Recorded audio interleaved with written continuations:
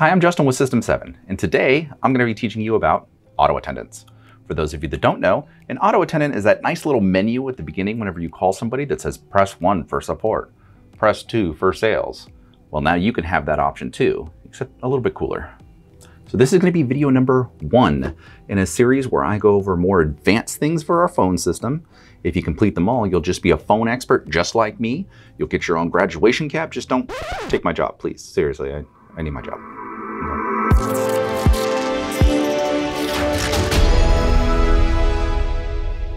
All right, so let's go ahead and dive on into it. First thing we're gonna need is a laptop.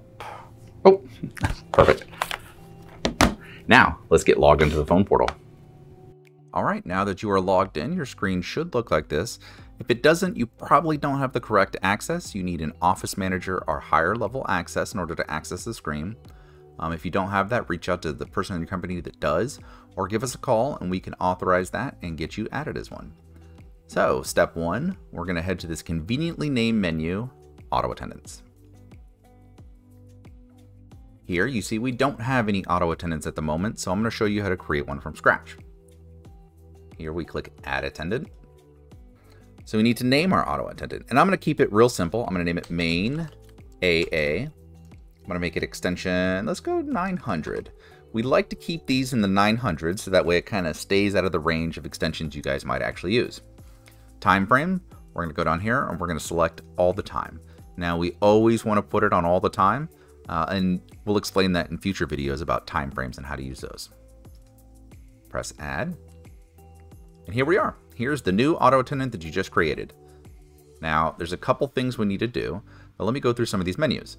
So the name, you see here, we can still edit the name. We can change it as we want, make it whatever makes sense to us. The extension though, that's locked in now. That cannot be changed. The only way this can be changed is by deleting this auto attendant and recreating it. Under here, we have our intro greeting and then our menu prompt. So these are the two things that the customers hear whenever they call. You know, they'll hear something like this. Hi, thanks for calling System 7. Mm. Our business hours are Monday through Friday, 8 a.m. to 5 p.m. Central. If you are calling for new services or to change or add to your services, please press 1. Oh. If you have questions about an invoice or would like to make a payment, please press 2. If you are looking for technical support, please press 3. So in the example that I provided, where you heard, you know, welcome to System 7, here's our business hours, yada yada, all of that is our intro greeting. So we're going to record that kind of stuff here. Now where we tell them what buttons to press and what each button does, that actually gets recorded down here in the menu prompt.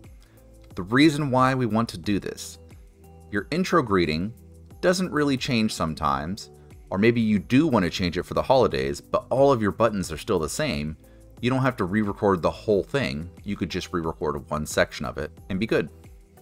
So first things first, let's get our intro greeting in.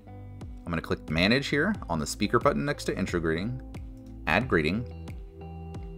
Now there's two different ways we could do this. We can record something. If you want to record it, you're going to have call me at. You can type in your extension number. The system will then call you. It will tell you, please leave a message after the tone, and anything you say there will become your intro greeting. Now you can also put your cell phone number here if you'd rather it call you on your cell phone, uh, but for best quality, it's probably better to put your extension. Now down here under time frame, once again, we're going to select always, and then we're going to press call. That's if you want to record it through the system.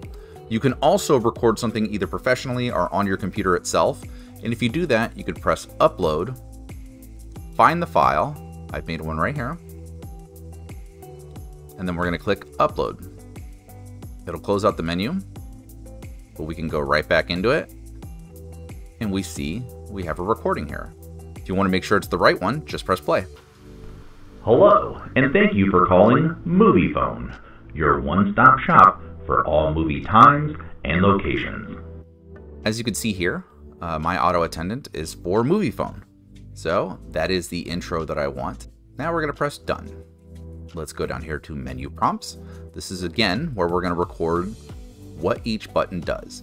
So same thing as above, you could do record or upload. I, of course, have one ready to upload. On this one, though, you need to put a description. So for upload, I'm just going to put menu options. Press Browse. I've got a conveniently named audio file called Menu Options. And we'll press Upload. Once again, you'll see it right here. We see how long it is. And if you want to make sure it's the right one, you could press play. To get movie times, please press 1. Or, to speak to a manager, please press 2. Alright, so you see in my example, I have 1 and 2 are the only buttons that I've created. However, you can use as many of them as you like. To get started in assigning buttons, we simply select which key we want to do what. So for me, option 1 is my first option. For that, we just click on button 1. Now each one of these does something different, and they're pretty self-explanatory, but let me take you through some of these options. So under User, this option you'll use if you want to send a phone call directly to an individual in the company. So, you know, I said press 2 to talk to a manager. Well, let's say that manager's name is Steve. I can type his name here, and look. That call will now go to Steve if the customer hits 1. Down here under caller ID prefix, this is what we use to add characters to the beginning of your caller ID.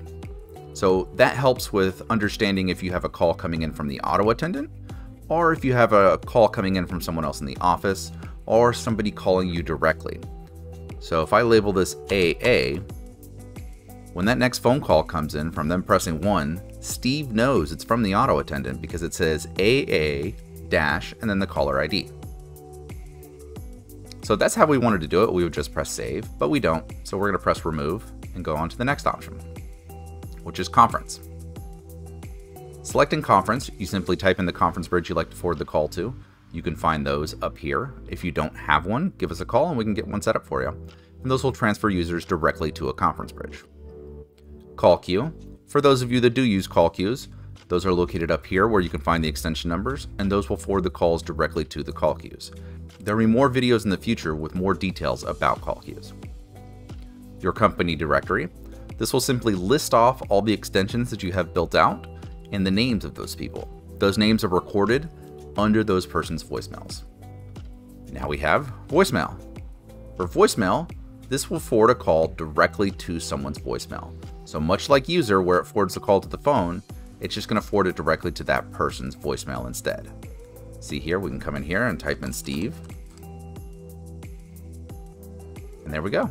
That would send the call to Steve's voicemail. Under voicemail management, this isn't much of a used feature anymore, but this would be able to call in and access your voicemail over the phone. Nowadays, we have a nifty little app that does that for you, or we could just email you all your voicemails anyway. External number. This will allow you to forward calls to any phone number you want. So if you need to forward calls to another office, or someone who doesn't use our phone system, or let's say the on-call person's cell phone, you simply press here, type in their phone number, press save, and those calls will be forwarded out to that cell phone number. Play message. So this would be something if we need to give the customers additional information. Now in my example, we said press 1 to hear movie times. Well, we can add a greeting here, which is the same that we've done in these processes. We'll go upload, movie times.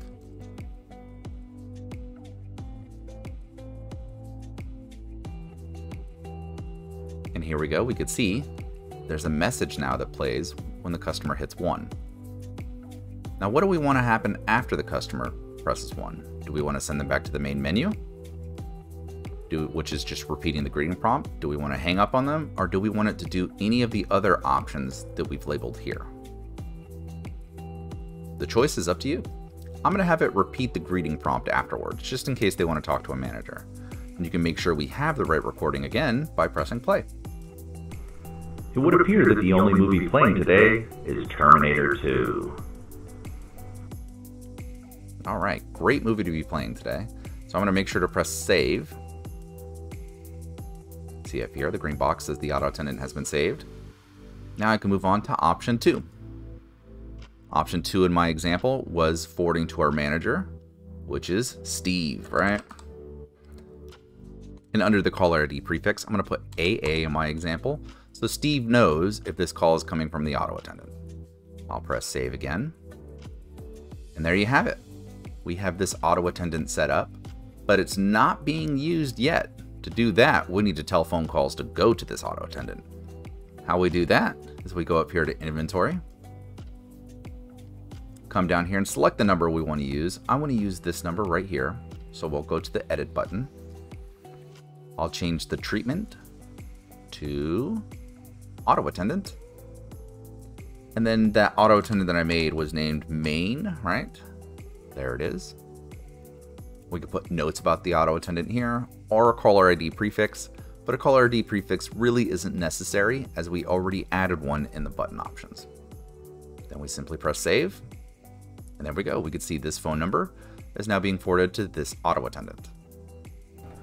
All right, so you've officially completed video one of this series. You now know everything there is to know about auto attendants, and I bet you got a million of them set up right now.